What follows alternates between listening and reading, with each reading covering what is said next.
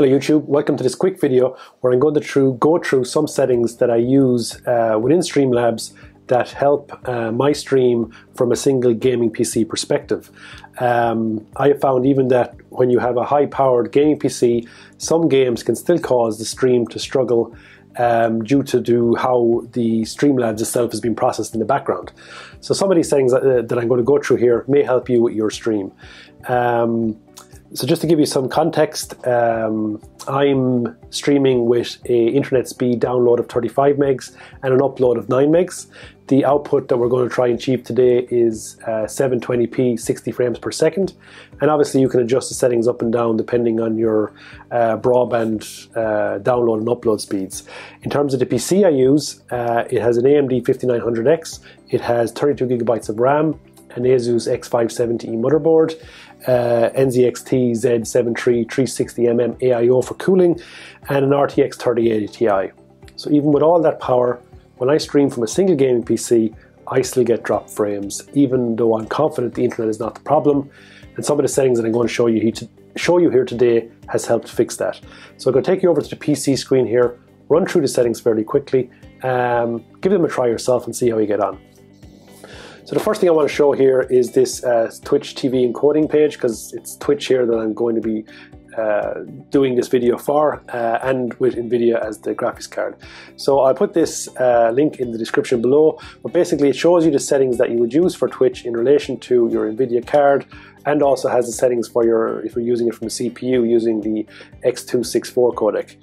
Um, so we scroll down, we can see here we have the settings for 720p 60 frames per second, which we'll be doing in this video. Because the main thing is to get your, your, especially when gaming, is to get it smooth. 60 frames is so much better than 30 frames. Uh, so that you want to hit that frame rate and hopefully at a decent resolution. Um, so these options down here, we're going to put into Streamlabs in a few minutes, along with some extra options to check in your setup. Uh, the one uh, option to be aware of, or most aware of, is the bitrate. Uh, so the target bitrate here would be about 4500 kbps for a 720p 60 frames per second um, stream. So this number generally relates to your upload speed. Uh, so if you take my upload speed, for example, of 9 megabits per second, um, generally you would use between half and two thirds of that, or, or that would be the most. Between half and two thirds would be the most I would use for a bitrate uh, in relation to your uh, upload. Obviously, if your upload is a lot higher, there's no issue. So, uh, how this number relates then, if you take the 4500, move the decimal point to after the first number, so uh, 4500 becomes 4.5, that, that's the number we compare to our upload speed. So, the bit rate of 4.5 compared to my 9 is about half. Uh, and it gives me a bit of leeway where I can go between 4,500 and 5,000. Uh, so these are the settings I'd use here and the settings that you may use um, if, if you're looking to stream for the same output on the target that I'm trying to get here. So before I open Streamlabs, the other uh, tip I'd give and other uh, thing that I found is that background apps will have an effect on your stream on a single gaming PC setup close as many background apps as you can. So for example, in your bottom right hand corner, look at the apps you've opened before you start streaming and see what you can close. In the past, I had Philips Hue running in the background while streaming, and that application, when closed, made a huge difference to the quality of my stream. So before you start, background apps, what you don't need to be using or doesn't relate to the gaming, close as much as you can. I know obviously you need some background apps for lighting and etc. But as best you can, the more you close there, the better it's going to be for your stream, especially if you're struggling. So that's the first tip. The second then is before you start Streamlabs, I find it better to run in administrator mode. So to do that, you hold the shift key on your keyboard, right click on, actually this is open here, let me close it. So hold the shift key, right click on the icon and go to um, run as uh, administrator. So this just allows uh, the application to run in administrator mode, uh, just giving it less restrictions in how it runs in the background. So that will open Streamlabs uh, in administrator mode. Um, so now in Streamlabs, let's go through some of the settings we have, and it specifically relates just to the streaming setup. We're not going to go through, you know, your your background setup, your video, your audio. This is just the streaming uh, settings that I found work best for a single gaming PC setup.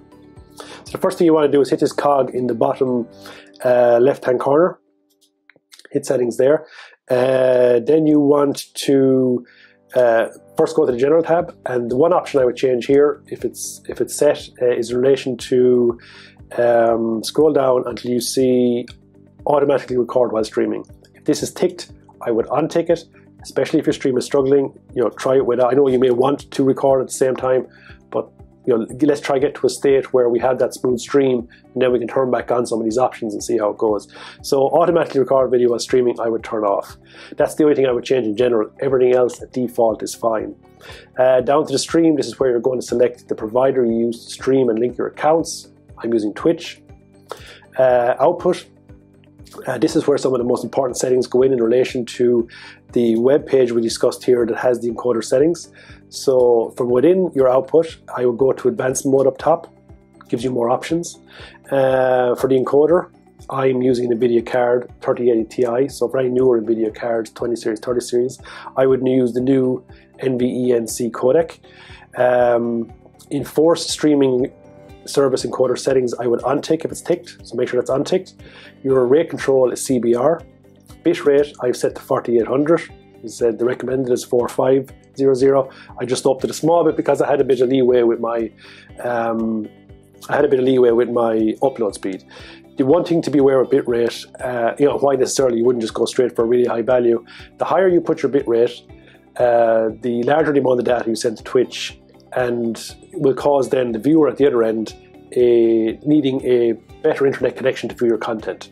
So just to be aware with, with really high bit rates, uh, it makes it harder to stream the other end if you know you don't have a good internet connection. So depending on where you're streaming to and uh, your target audience, and you know if, if, you want to include more and more people, um, you know to keep the bit rate within uh, the correct range helps a lot. So for this is 4800, you can set it to 4500, it's fine. The keyframe interval I'd set to 2, preset I'd set to quality, profile I'd set to high, look ahead on tick, and psycho visual tuning I'd leave ticked. GPU set to 0, and max B frames set to 2. So they're the settings for output within streaming. Um, they're the only settings I've changed there that, that have helped my stream. For video, so this is where we're setting the resolution and frames per second that we want to send to Twitch. For the base canvas resolution, uh, I would set that to your monitor resolution. So for example, mine is a 1440p monitor, so I've set to 2560x1440. The output scale resolution is the resolution we want to send to Twitch. So in this case, it's a 720p, so 1280 by 720. Uh, downscale filter, I use bicubic, bicubic 16 samples, uh, FPS ties common values, and for the FPS uh, value, I've set to 60. So 60 frames per second, 720p is what I want to stream to Twitch. Um, now, some will say the base resolution, you, you, you can also leave that at you both of them at the same 720p. Uh, you know, it might be worth trying that as well to see if will help. But I have found using my monitor on the base and the output at the the desired resolution for uh, Twitch to be the best. Okay, so that's uh, video. Just checking here the notes to make sure I get everything. The next one then is um, relates more to the Streamlabs software itself and how that runs in the background, and is it getting enough resources for uh, it not to be bottlenecked by your CPU being just hit so hard by by the game. So go to Advanced, and under General, where you see Process Priority, set that to High that's one of the more important settings that when we change, um, if you're struggling on a single gaming PC setup, and you're happy with your internet, this, this setting can make a big difference. So set that to high. That's all the settings that I've, that I've really changed in relation to getting that smooth stream. The one other thing I'd say is relates to the live view that we you know we have here. When you're streaming, oftentimes in a second monitor, you may have the live view uh, going so that you can see your stream, interact with the chat, all that good stuff. Um, but that can affect performance. So if you're still struggling and you're still getting, you know, from your metrics down here in the bottom left, if you're still getting drop frames and it's showing up as red, you know, the stream isn't going smooth, I would also try right clicking this area and going into performance mode, which disables your live view. While I know live view is important, you just may have to view your stream from a separate device. Uh, you know, give it a try and see does that help. A handy feature within Streamlabs is setting within back into settings and within hotkeys, scrolling down to you know the option where you want to set a shortcut. So toggle performance mode. You can set your own custom uh, shortcut in there so that you know if it's on a second screen, if the stream started, you can sw- quickly switch back and forth with uh, performance mode and live view just to make sure the stream is, is, is active. Uh, but that's, that's the final setting I'd, I'd give a try. So like in summary, you know, check the background apps, have a look at those few settings, consider disabling uh, or enabling performance mode. You know, try your stream and see does that help a lot. Uh, it definitely helped me a lot compared to when I started the stream and, and you know change those few settings and then it's, it's just you know it runs 720p 60 fine no issues give it a try, see how you get on. If anyone has any options that I've missed that, that you have found help with this, you please add them in the comments below so anyone watching this video can give them a try too. And I'm, I'm happy to learn here because uh, this is just from the few bits I found from trawling the internet. Uh, if this video has been any way helpful, you know, please drop a like and subscribe. Uh, other than that, have a good day and hopefully you've, uh, you know, you're streaming with the few settings changes, um, you know, goes a lot smoother and is a lot better. Uh, but listen, thanks for watching and have a good day.